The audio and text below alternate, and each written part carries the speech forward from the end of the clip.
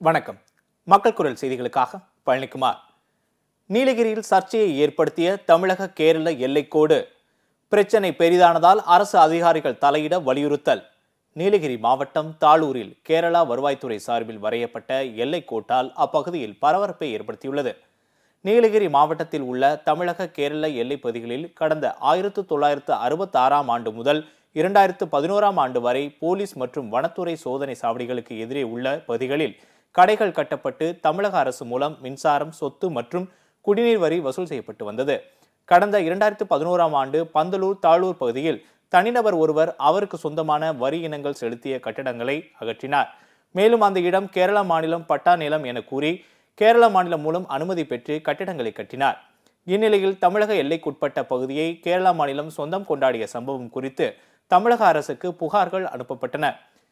இந்த தமிழக கேரள இருமாநில எல்லை பிரச்சினை குறித்து இருதரப்பு அதிகாரிகள் முன்னிலையில் பேச்சுவார்த்தை நடத்தி தீர்வு ஏற்படுத்தினால் மட்டுமே முடிவு ஏற்படும் என்றனர். தூத்துக்குடி சிவன் கோவிலில் விஜயதசமியை ஒட்டி வித்யாரம்பம் நிகழ்ச்சி நடைபெற்றது.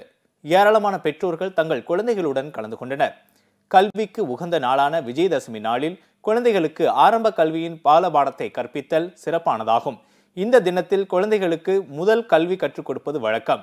இதையொட்டி பக்தி பேரவை சார்பில் தூத்துக்குடி சிவன் கோவில் கலையரங்கில் குழந்தைகளுக்கு எழுத கற்றுக் கொடுக்கும் நிகழ்ச்சி நடந்தது.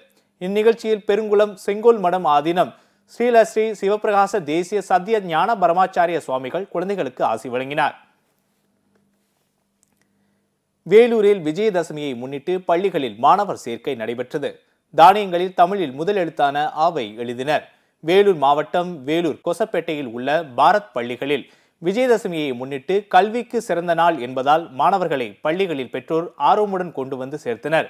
இதில் மாணவர்களுக்கு தமிழின் முதல் எழுத்தான ஆவை நெல் அரிசி ஆகிய தானியங்களில் எழுதி கல்வியை துவக்கி வைத்தனர். பெற்றோர்கள் ஆர்வமுடன் இந்த நாளில் மாணவர்களை சேர்த்து வருகின்றனர். இத்துடன் செய்திகள் நிறைவடைந்தன. மீண்டும் சந்திப்போம். நன்றி வணக்கம்.